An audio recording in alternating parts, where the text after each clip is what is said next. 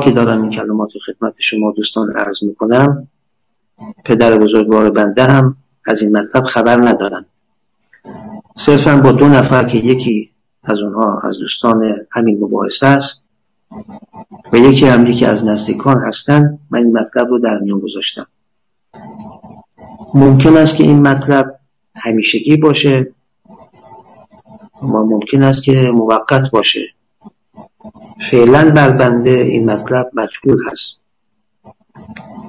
لذا حالا استحلال با های حوز رو کردیم در مقام استحلال با های حدی از دوستان عزیز طلب هلیت می‌کنم و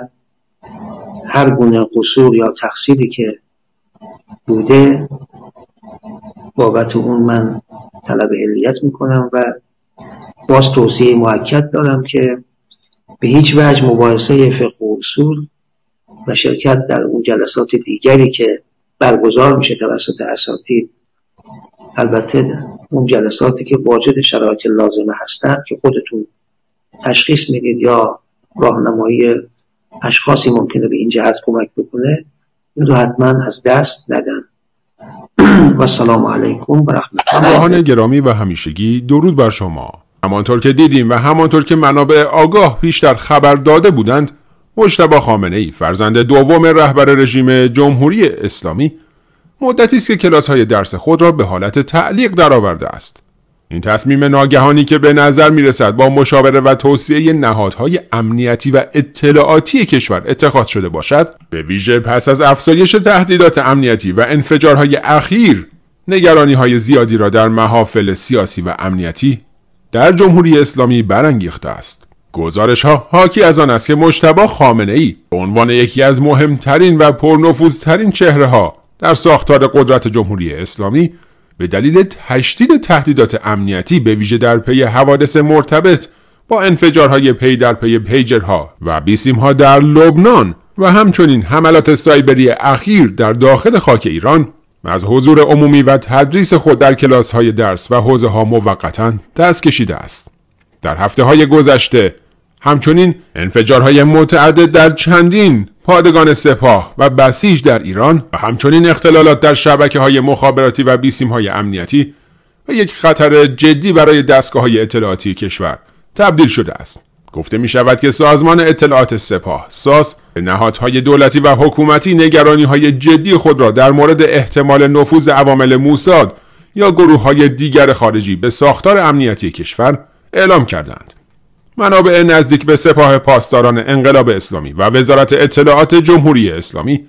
تایید کردند که این انفجارها و تهدیدهای امنیتی در حال حاضر به عنوان یک بحران جدی در دستور کار عالی ترین نهادهای امنیتی کشور قرار گرفته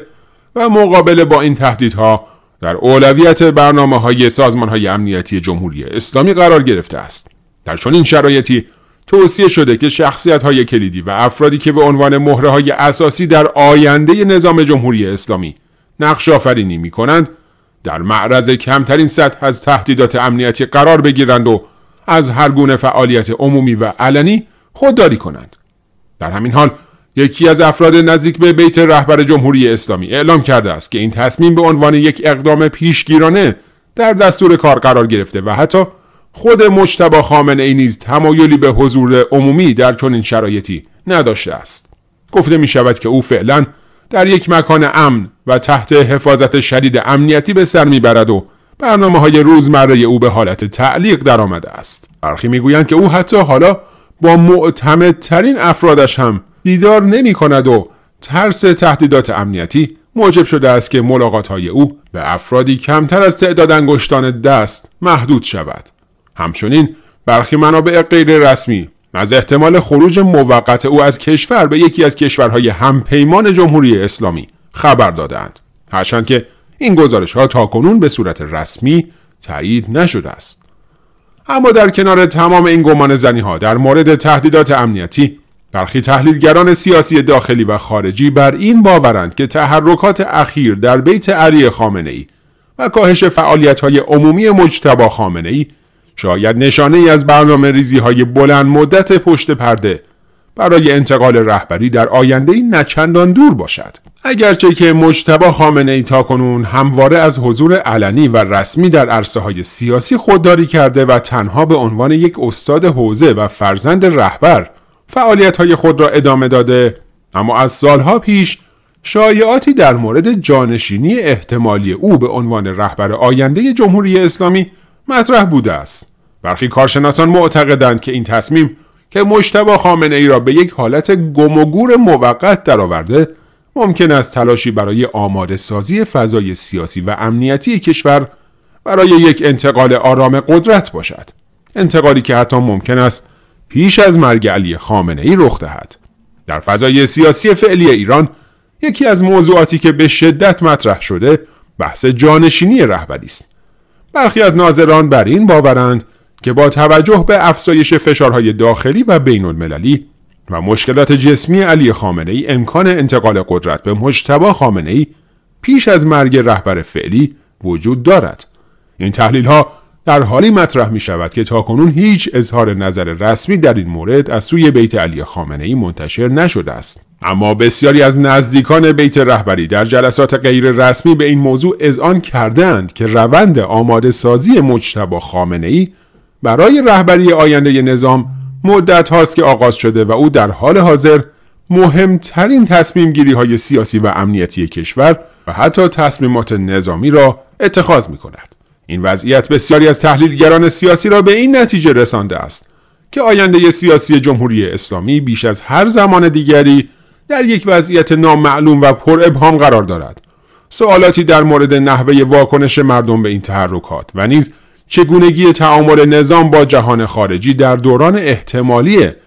انتقال رهبری به مشتبه خامنه ای مطرح است. بسیاری از رسانه های مخالف جمهوری اسلامی و تحلیلگران خارجی نیز به این ماجرا به چشم نشانه ای از ضعف درونی نظام نگاه کردند و معتقدند که چون این تحرکاتی نشان دهنده بحران درونی و فقدان جایگزین های قابل اتکا برای آینده سیاسی رژیم جمهوری اسلامی است. با وجود تمام این گمان زنی ها وضعیت مجتبا خامنه ای همچنان در حاله ای از ابهام قرار دارد و مشخص نیست که او چه زمانی به فعالیت های عمومی خود باز خواهد گشت و یا اصلا باز خواهد گشت یا خیر. نهادهای امنیتی تا کنون هیچ اظهار نظر رسمی در این خصوص نداشتند و تنها به انتشار اخباری مبهم در مورد تهدیدات امنیتی اخیر اکتفا کردند.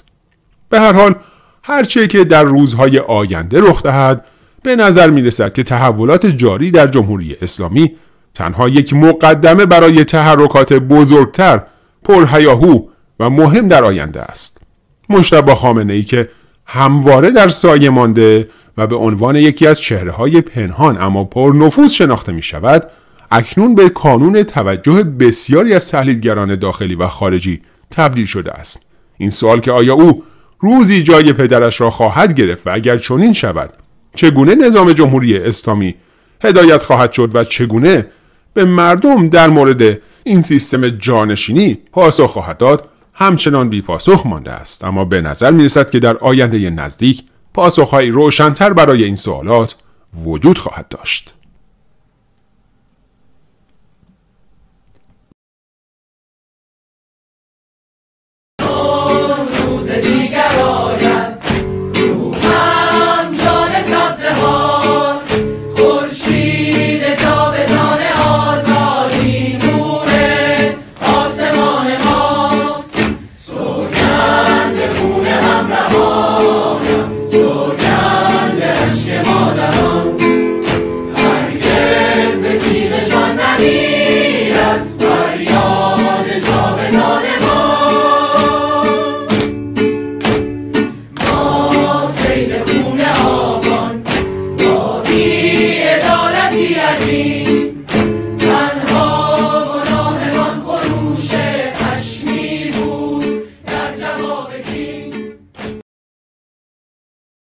مخاطبان گرامی ضمن درود اگر این برنامه را پسندیدید با نظرات سازنده خود در قسمت کامنت ها ما را در ادامه این راه یاری کنید. همچنین فراموش نکنید که علاوه بر subscribe در کانال با فشردن علامت زنگوله در پایین همین ویدیو هیچ کدام از برنامه های ما را از دست نخواهید داد. به امید ایرانی آزاد و آباد.